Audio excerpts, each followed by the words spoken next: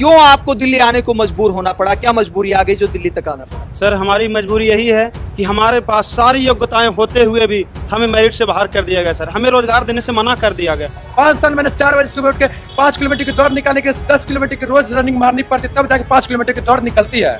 सांस तोड़ना पड़ता है एक एक शरीर का नस नस तोड़ना पड़ता है। मोदी सरकार ने ये बयान भी दिया है कि हम घर घर नौकरी देंगे जो हमारा रोज़गार देंगे पर अभी तक हमें पचपन हज़ार की ज्वाइनिंग मिली है पचपन हज़ार को बाहर निकाल ये सरकार खुद कह रही है कि हमारे पास एक लाख ग्यारह हज़ार वैकेंसियाँ खाली है तो फिर हमें क्यों बेरोजगार होने पर मजबूर कर रहे हैं सर?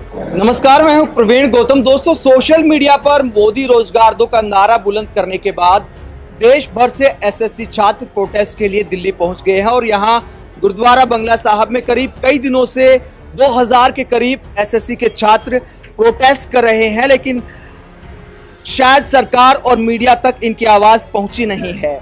और इनका मुद्दा है 2018 की एसएससी सीएपीएफ भर्ती का। और तीन साल इंतज़ार करने के बाद बहुत सारे उम्मीदवार ओवरेज हो चुके हैं और यहाँ पर गुहार लगाने आए हैं कि नई भर्ती की बजाय जब इन्होंने सारे टेस्ट पास किए हैं तो इनको भर्ती किया जाए। क्या मुद्दा इनका, ये बात करते हैं। कहाँ से आप? जी मैं बिहार से आया हूँ सर गया ज़िले से।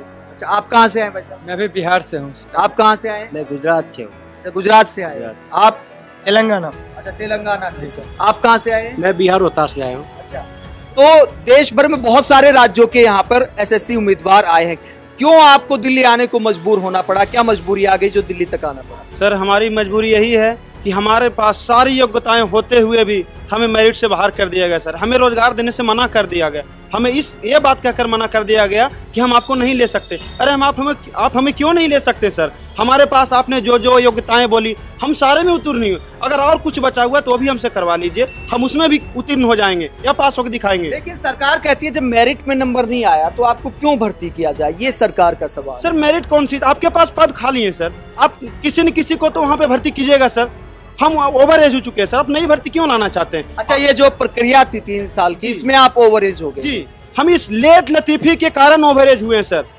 हम इस लेट लतीफी के कारण हम ओवरेज हो गए हैं। इस चलते हम इसमें नाम नहीं आ पाया सर। लेकिन सरकार के खुद केंद्रीय मंत्री गृह राज्य मंत्री जो 1 सितंबर 2020 को संसद में बयान दिया हम नहीं कह रहे ये सरकार खुद कह रही है कि हमारे पास एक लाख ग्यारह हज़ार वैकेंसियाँ खाली हैं। तो फिर हमें क्यों बेरोजगार होने पर मजबूर कर रहे हैं सर? हम लोगों ने भी ये ठान लिया है हमने कुछ देर बाद राष्ट्रपति भवन जाने हैं। हमने इच्छा मृत्यु की मांग जताई है। हमने सारे वस्तु क्या करेंगे? बेरोजगार युवा क्या कर सकता है सर? इस तरह की बातें मत करिए रास्ते निकलते हैं ज़िंदगी में। निराश मत होइए आवाज़ उठाना आपका हक है। सर कोई मीडिया हमें सपोर्ट नहीं कर रही सर। सबसे बड़ी बात है हमारे हमारी बातों को कोई देख नहीं रहा है। अगर देख भी रहा है तो नजरअंदाज कर दिया जा रहा है सर। हम कहाँ जाकर रहेंगे? हम पंद्रह दिन से यहाँ छुपे बैठे हैं सर। हमें प्रोटेस्ट का इजाज़त भी नहीं मिलता। चार घंटे के मिली भी तो हाथ पैर तोड़ के हमें भेज दिया गया वापिस। किसने हाथ पैर? जी प्रशासन ने। दिल्ली प्रशासन ने हमें हाथ पैर तोड़ दिए देखे हमारे साथी हैं। हाथ पैर तोड़ दिए गए। क्या नाम आपका? राठौड़ अमोल कुमार तेलंगाना से मैं। अच्छा। जी सर प्रोटेस्ट के लिए परमिशन दिए थे दिल्ली पुलिस वालों ने चार घंटे के लिए। जो प्रोटेस्ट भी कर चुके हैं हम पर प्रोटेस्ट करने के बाद अचानक से लाठीचार्ज कर दिया और मेरा हाथ तोड़ दिया और एस एसएससी कैंडिडेट वालों को बहुत तो आप क्या सरकारी संपत्ति को नुकसान पहुँचा रहे थे? जी नहीं सर शांतिपूर्ण एकदम शांतिपूर्ण। जो आप हम हम तो झूठ बोल सकते सर। कहीं भी जाके तुम पता कर लीजिए एस एस वाले कैंडिडेट सरकारी कुछ तोड़ फोड़ की या कुछ वगैरह वगैरह की। न मेरे पास बिज़नेस करने के लिए पूछिए, मेरे पिताजी किसान है। न उतना मेरे पास ज़मीन है कि मैं उतना कुछ कर सकूँ, खेती भी कर सकूँ अब। मेरे पापा छोटे मोटे किसान हैं, मम्मी घर की गृहिणी है। अब मैं करूँगा तो क्या करूँगा? कुछ समझ में नहीं आ रहा। अब हमको अभी इससे आगे हम क्या करें? हम तो प्रधानमंत्री जी ने कहा था कि प्राइवेट सेक्टर में भी युवाओं के लिए काफ़ी अवसर है। हम लोग का शौक है सरकारी नौकरी हम लोग का देश सेवा। यहाँ पर देख सकते हैं कि सरकारी इसमें सरकारी नौकरी के लिए यहाँ पर किस तरह के बच्चे यहाँ पर खड़े S S C G D C F जो पाँच छह साल से फ़िज़िकल और दौड़ करके मेहनत किए हैं। सर हम कोई गवर्नमेंट जॉब कोई ऑफिसर का जॉब नहीं मांग रहे सर। सीआईडी वगैरह का कोई जॉब नहीं गोली खाने वाला जॉब मांग रहे हैं सर। हम देश की सेवा के लिए जान देने वाले जॉब मांग रहे हैं। हम कोई आपसे सीआईडी उच्च पद कोई सीबीआई का डिमांड नहीं कर रहे सर हम अपनी बस सेना को जाने की अपना इच्छा रख रहे हैं सर भारत सरकार की सेवा करने के लिए भारत माता की। इसमें भी आप हमें परेशान कर रहे हैं। मैं घर का इकलौता लड़का हूँ सबसे बड़ी बात। ऐसा कोई नहीं कि मैं जॉब के लिए जा रहा हूँ। ऐसा कोई होता है घर का इकलौता लड़का सेना में जाने के तैयार नहीं होता। है लेकिन मैं घर का इकलौता लड़का हूँ मैं सेना में जाने को तैयार हूँ। इन्हें मैं देश सेवा करूँगा। क्या करते हैं आपके पिता? जी घर में दुकान है सर छोटी। नमक तेल वगैरह का। क्या परचून की दुकान। जी। वो उसमें कमाई कर करके हम इतना पढ़ाई बनाए सर।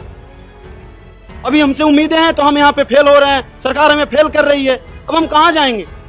उनकी उम्मीदों पे कैसे खरा उतर पाएँगे सर? हमारे परिवार वालों को अभी भी उम्मीद है कि हमारा लड़का जंग जीत के आएगा वहाँ से। ये कोई सरकारी नौकरी की बात नहीं है। यहाँ बात है देशभक्ति की। जितने जो कि पाँच छः सालों से दौड़ के फ़िज़िकल मेडिकल दौड़ना इतनी आसान है, पाँच किलोमीटर की रनिंग के लिए आपको दस किलोमीटर रोज दौड़ना पड़ता है सुबह सुबह, चार बजे सुबह उठ के। पाँच साल मैंने चार बजे सुबह उठ के पाँच किलोमीटर की दौड़ निकालने के लिए दस किलोमीटर की रोज रनिंग मारनी पड़ती तब जाके पाँच किलोमीटर की दौड़ निकलती है। सांस तोड़ना पड़ता है एक एक शरीर का नस नस तोड़ना पड़ता है। देशभक्ति की। हमने कोई सरकारी नौकरी कही नहीं बस ये मतलब आपका सपना था सेना में सेवा करना मेरा ये सपना था। इतना सरकारी नौकरी पढ़ लिख लेकिन एक देश सेवा करने का सपना है। सुबह सुबह चार बजे सुबह उठ के देखा नस नस तोड़ना वर्दी में आने का सपना है। वर्दी में आने का सपना था। जो मेरा वर्दी का अब अभी एक मेरा ओवर एज हो चुका हूँ अब इसकी फॉर्म भी नहीं भर सकता इसके बाद मैं कहीं भी नहीं जा सकता हूँ। बस यही एक मौका सर से यही मेरी उम्मीद है, न मैं सरकार के खिलाफ हूँ, न मैं सरकार के कुछ हूँ। ठीक है, मोदी सरकार है। बस हम लोग अपना न्याय देते और सीट वैकेंसी खाली है, खुद नित्यानंद राय जी ने बोल चुके हैं कि वे कि पैरामिलिट्री फोर्सेज में एक लाख ग्यारह हज़ार समथिंग सीट खाली है और यहाँ पर आपको एक लाख नौ हज़ार मेडिकली फिट हुआ है। जब आपके पास मेडिकली फिट हुआ है, जो पैरामिलिट्री के लिए जो चीज़ आपको, जो चीज़ चाहिए कैंडिडेट में, कि ये चीज़ कैंडिडेट में है तो हम उसको बहाली करेंगे। तो वो चीज़ हम में है। फ़िज़िकल मेडिकल रिटर्न मैंने तो सब कुछ पास कर चुका हूँ। अब ऐसा कुछ तो नहीं है कि मैंने अब कुछ रह, बाकी रह गया कुछ करने के लिए। तो भाई वो सीट हमें देने में क्या कठिनाई हो रही है सरकार को? अगर 2011 में कांग्रेस सरकार ऑल मेडिकल फ़ील्ड को ज्वाइनिंग दे सकती है मोदी सरकार ने ये बयान भी दिया है। कि हम घर घर नौकरी देंगे जो हमारा रोज़गार देंगे। पर अभी तक हमें पचपन हज़ार की ज्वाइनिंग मिली है पचपन हज़ार को बाहर निकाल दिया जाता है। 2011 में कांग्रेस से दी थी क्या ऐसे? यार सर वो प्रदर्शन तीन महीने तक प्रदर्शन चला था और सभी को ज्वाइनिंग मिली थी। और सभी कैंडिडेट हमारे हमें अभी भी कॉल कर रहे हैं कि हम लोग आपके साथ हैं जब कभी ज़रूरत पड़े तो हमें कॉल कीजिए। हम आपके साथ जंतर मंत्र पर बैठने के लिए भी तैयार हैं। पर इस बार मोदी गवर्नमेंट है जो हमारी बात अभी तक नहीं सुनी जा रही है सर। हम अभी तक अभी भी दस पंद्रह दिन से यही गुरुद्वारा में हमें शरण मिली हुई रहने के लिए जहाँ पर खाने की व्यवस्था पर हमें वहाँ से कोई जवाब नहीं आ रहा। हम एस एस सी डिपार्टमेंट की तरफ़ चले गए, राष्ट्रपति दफ्तर गए पीएमओ दफ्तर गए। अभी तक उनके मेमोरेंडम का हमें एस एस को कोई भी रिस्पॉन्स नहीं मिला सर बैकवर्ड ये छात्रों का दर्द आपने सुना और इनके सपनों को समझना चाहिए सरकार को संवेदना के साथ, क्योंकि सिर्फ़ गुजारे करने की बात नहीं है कि इनको आजीविका के लिए ये नौकरी चाहिए।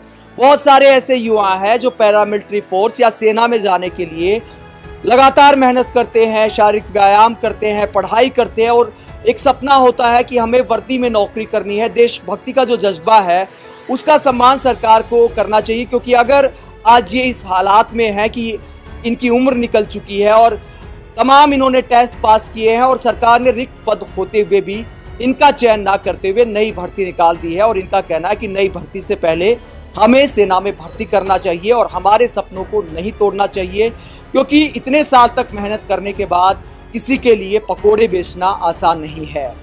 आप इन युवाओं के दर्द और बेबसी पर क्या सोचते हैं और क्या लगता है आपको? सरकार क्या सुनेगी या फिर हर मुद्दे की तरह इसको भी नजरअंदाज कर दिया जाएगा? कमेंट बॉक्स में अपनी राय ज़रूर दें।